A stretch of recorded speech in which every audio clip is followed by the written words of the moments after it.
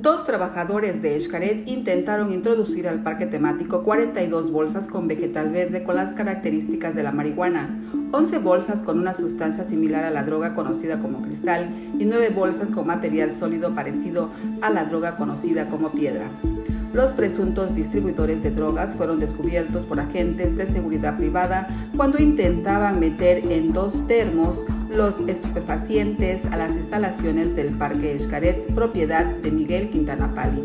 Policías de Solidaridad, quienes se encontraban sobre la carretera federal cercano a la entrada del centro recreativo, se percataron que los agentes de seguridad solicitaban auxilio, por lo que inmediatamente acudieron a brindarles apoyo.